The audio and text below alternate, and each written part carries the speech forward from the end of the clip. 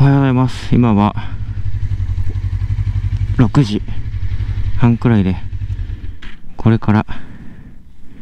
えー、浜松の方までツーリングに行くところです。そして今日は1泊2日のツーリングの予定です。ちょっとまた集合場所が、えー中井パーキングエリアということなので、またそこら辺で撮影を再開しようかなと思います。行ってきます。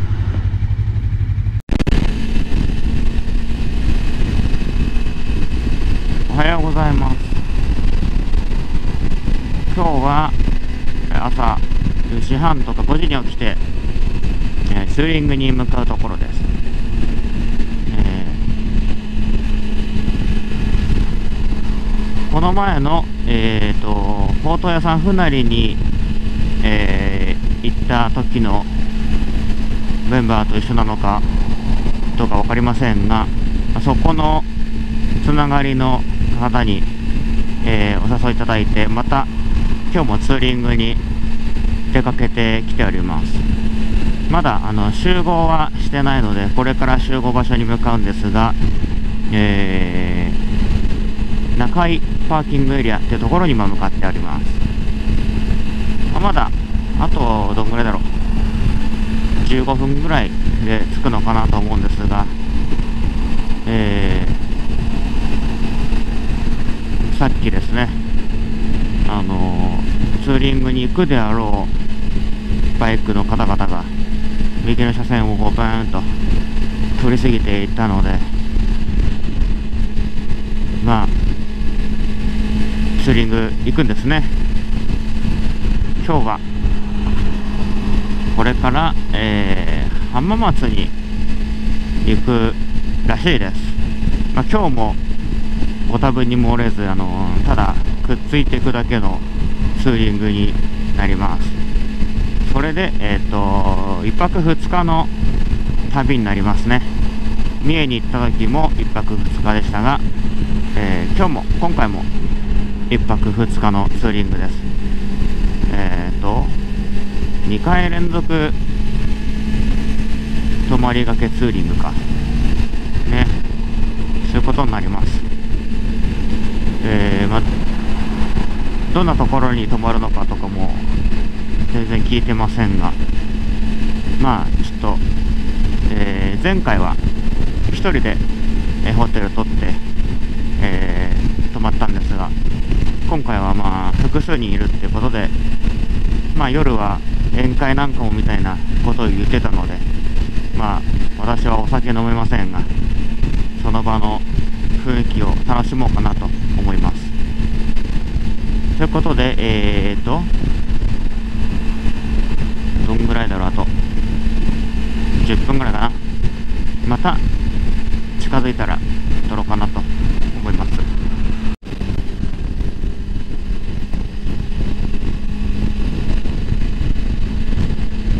さてさて最初の最初のというか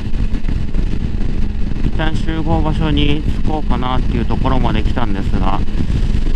富士山かな？なんか見えた気がしてカメラを回し始めたんですがちょっと山で隠れて見えなくなっちゃいましたね。あと1分であ着きましたね中井パーキングエリア。今は集合時間の約30分前なので、まあ、早ければもうどなたかいると思いますがまた誰が来るか知らないのでその場の空気読んでこう過ごそうかなと思います。中井パーキングエリアおさっきのゴールドウィング集団じゃないですか。ということで一旦休憩ということでえっと今日のツーリングメンバーの方々と合流してえー、と中海パーキングエリアを出発しました。今日は、えー、合計で9名かな。えー、お一人がちょっと遅れてあの合流するっていうことなので今日今は8名ですね。でもう1人合流されてから、えー、9人でツーリングという感じになりますね。今日はですねあのはやぶさに乗ってる方があの頭に GoPro つけてちょんまげスタイルで撮影をしてるらしいんであの同じ GoPro 仲間としてまあ仲良くというか、まあ、全然あの年齢は上の方なので仲良くっつったらあれ失礼かもしれませんがあの楽しくやっていきたいなと思います。今日はえっ、ー、とグラディウスグラディウスあれは何だろう。木の鈴木のスクーターって何ですかね。ちょっと忘れちゃいましたけど。でこれが V ストロームで今真ん中の車線走ってるのがはやぶさという感じで鈴木車満載ツーリングです。お一人が BM ですかね。乗られて。えっ、ー、とで今がでかいでかいサービスエリアに向かってとこですね。なんだっけな。沼津とかそこら辺でしたっけね。うん。でなんか今日来る途中に雨に降られてしまった方もいたようで、まあ、幸いこの V ストロームは無事に雨に当たることなく行ったんです。お富士山。あ。富士山が見えた一瞬。お。富士山が目の前にちょっと雲がかかってて残念ですが。いややっぱり富士山が見えるのと見えないのとじゃ違いますね。あれ前回は見えなかったんですよね。あの朝霧高原とかほうと食べに行った時は。そんで三重に行った時も確か富士山見えなかった気がそう。三重の時は翌日が2日目が朝雨でちょっとあのどんよりした空だったんですが今日も快晴ではないのではっきりとは見えませんがそれでも富士山もおはようって感じです。今 YouTube のアップする頻度がアップする頻度っていうか編集があのちゃんちゃんとっていうか定期的にできてるんであの公開するタイミングも今のところ多分おそらく毎週更新できてるからなんて思うんですがやっぱりね1回のツーリングを1本の動画にギュッてまとめてしまうとツーリングってそんなちょいちょい行けるわけじゃないんでこうパートを何パートかに分けたいんですよね。でまあそうすることによって、まあ、週に1回ぐらいのペースであの上げることができるかなって思ってて、まあ、それを今、まあ、できるなら金曜日に更新したいかななんて思っててあの予約公開を設定をしております。でもまあ今年はあとまあ、あと1回ツーリング行くのは決まってて、まあ、それがどこに行くかは決まってないんですがでも行くならね、まあ、それは日帰りであれですけど行くならやっぱりねどっか行ったことないところに行きたいなとは思うんで。でえー、っと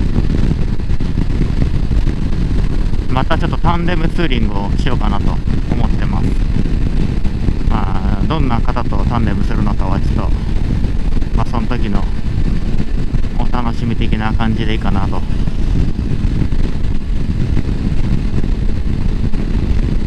まあまあいきなり次回の話をするよりは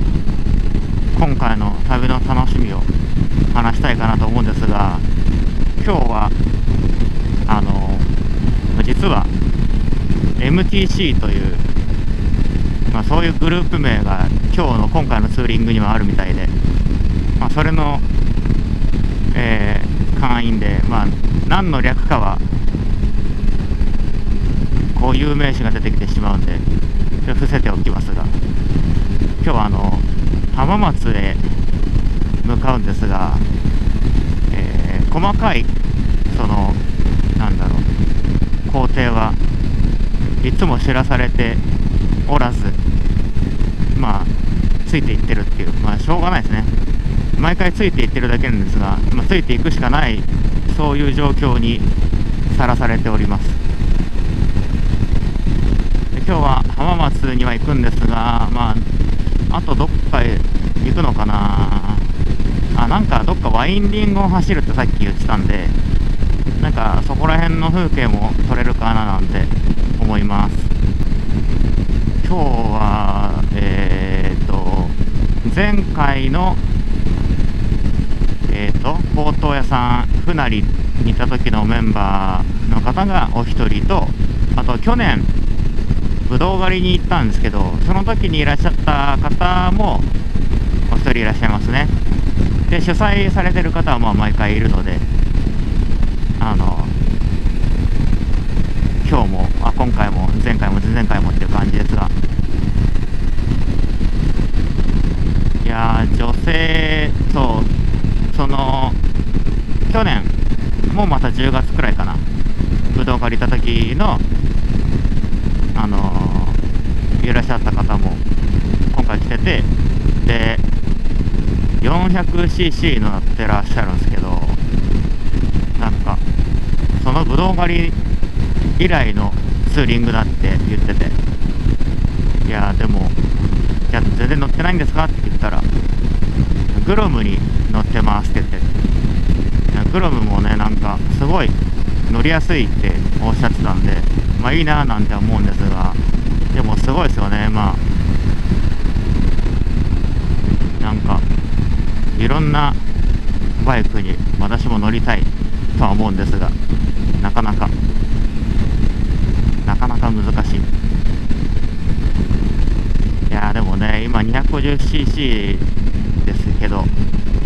まあたまには 400cc クラスとかまあゆくゆくは大型免許とかも取ってそのまだ持ってないのでで取って、まあ、それでまあなんかね大型バイクも乗りたいなと思うんですが今はこの V ストローム250が最高すぎるのであの他乗り換えるとは他は考えられないんですが、まあ、また違った世界が見れるのかなっていうので、まあ、それもそれで楽しみにできてていいなって思います。太陽が見えてきましたね。よかった。今日あのー、今日っていうか最近寒い。あ富士山またこんにちは。あの最近朝も夜も寒くなってきたんであったかい格好しようと思っていっぱい着込んできたんであのー、集合した時に寒い寒いって言ってた方いたんですけどもう全然余裕っすね。秋冬用のライディングジャケット着てそれでその上に羽織れるものも着てるんでもう何も何も感じないです。ぱりね防寒対策はしといた方がいいかななんて思いますね。体固まっちゃうし。あの冷え切った体が冷え切ってしまった後にあのサービスエリアとかついて駐車するときのあの足の動かなさで立ちこけしそうになるんでもうそれが嫌で怖くて体を冷ましたくないなんて思います。駿河湾沼津駿河湾沼津サービスエリアかな。確か休憩次休憩しましょうって言ってたのが。そこでちょこっと休憩してで清水パーキングエリアでしたっけ？清水サービスエリアでしたっけ？パーキングエリアか、まあ、そこでももう一回撮ってみたいなことを言ってたかななんて。思います。おパトカー。富士山が近づいてきたような気が。近い。近いぞ。優しい。あの1233つ前の方がですねウインカーを出してさらには指でも合図してくれましたね今。こっちだよって。さすが。違いますね。なんかこの作りかけの感じ良くないですか？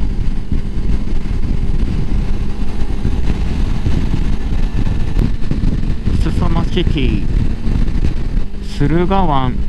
沼津パーキングエリアが、えー、すぐそこですね。確かここで休憩とかって言ってた気がするんでおお駿河湾。駿河湾が見えるぞ。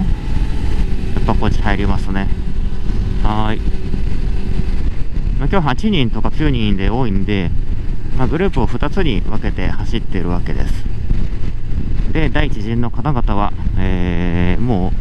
ういると思うのでここで合流という感じですね。どちらにいらっしゃるのか。うん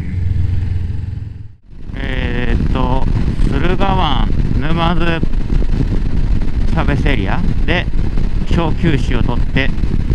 今から、えー、静岡サービスエリアですか？に向かうところです。